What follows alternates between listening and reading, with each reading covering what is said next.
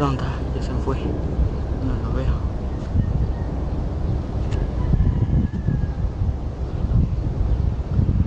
Ya lo desubiqué.